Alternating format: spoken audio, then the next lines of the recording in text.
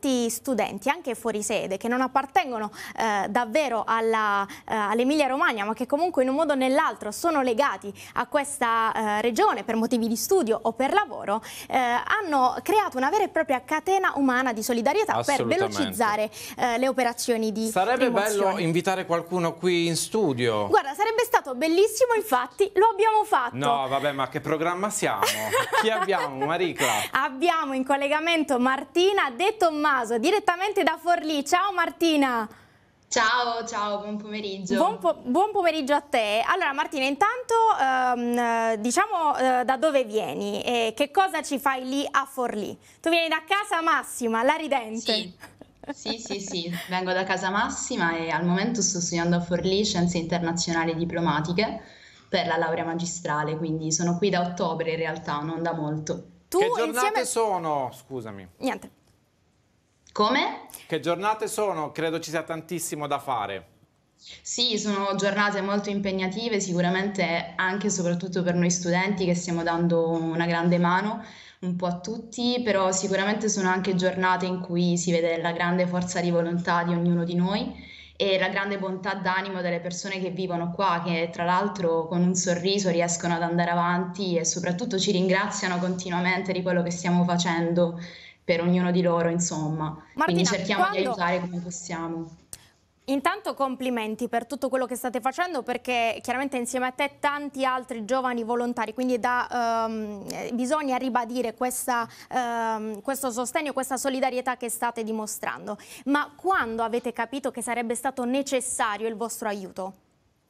Beh, sicuramente martedì 16, quando è andata via l'elettricità o comunque il wifi, c'è stato il momento di panico in cui sicuramente abbiamo capito che c'era bisogno di dare una mano. Poi fortunatamente molti di noi eh, fanno già parte anche di associazioni di volontariato, quindi c'è stato un, uh, un diffondersi del messaggio veramente in maniera repentina e di fatti già giovedì siamo andati un attimo a consegnare cibo, qualsiasi cosa di cui avesse bisogno la gente e poi grazie a Whatsapp, Instagram ci siamo sentiti tra di noi e ci siamo attivati un po' tutti. Abbiamo visto che comunque l'acqua fosse arrivata quasi diciamo a 10 minuti dal centro di Forlì, quindi mancava veramente poco. Questa è una immagine davvero molto bella che ti riprende lì sulla sinistra con la pala, e quindi davvero, davvero tanti complimenti. E mh, la situazione attuale qual è?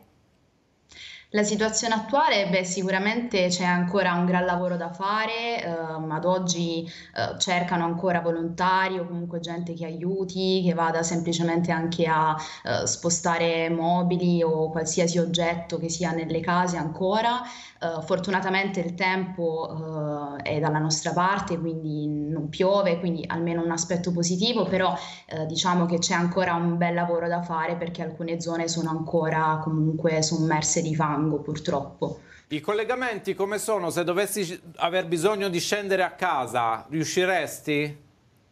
Eh, sì, al momento stanno sbloccando la tratta, diciamo, adriatica, eh, però appunto fino alla scorsa settimana, fino almeno a questo lunedì, era tutto bloccato. Man mano si stanno sbloccando anche mm, autobus e mezzi per raggiungere altri, altre città, insomma, vicine, ecco quindi man mano si sblocca la situazione. Che dire, siamo con voi, grazie mille per questo contributo, vero Maricla? Assolutamente, grazie Martina, grazie davvero È per... un piacere.